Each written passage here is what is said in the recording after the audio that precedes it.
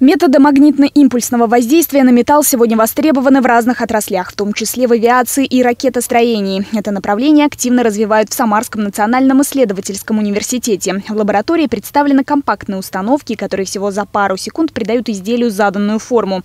Вот идет гудение, а в цехе его слышно. Щелчок, и все. Я вам понимаю готовую деталь. Смотрите, чувствуете ее. Вот она.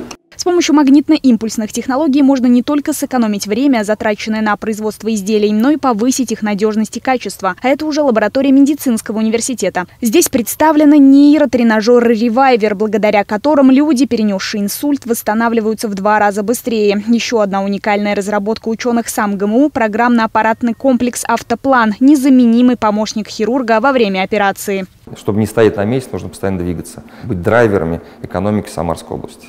Мы активно работаем с крупными корпорациями, как госкорпорация Ростех. Мы с крупными институтами развития, с венчурными фондами, с инвесторами. Задача создать от идеи продукт и внедрить его в серию. В настоящее время это уже десятки продуктов. Большинство из них уже доведено до серийного производства, используются в системе здравоохранения, в системе образования.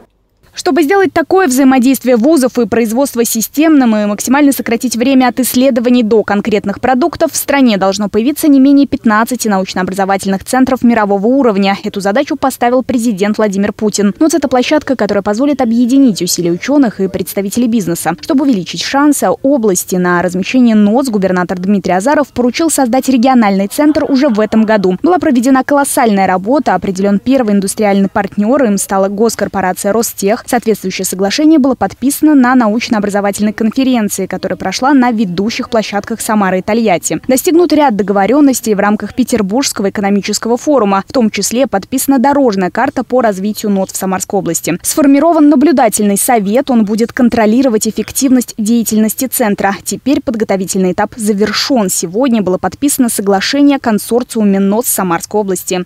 После создания консорциума участниками научно-образовательного центра предстоит организовать уже разработку программы развития НОЦ, определить ключевые инвестиционные проекты, обозначить главные направления научно-исследовательских работ, актуальных для науки и бизнеса.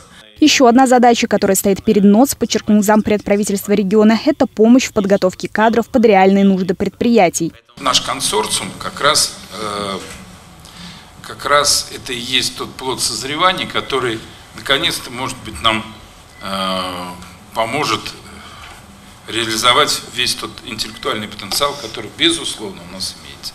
На этом этапе у НОЦ 13 участников, однако есть уверенность, что к данной работе в ближайшее время подключится еще больше образовательных организаций и предприятий региона. Мария Акимова, Владимир Терентьев, Новости губернии.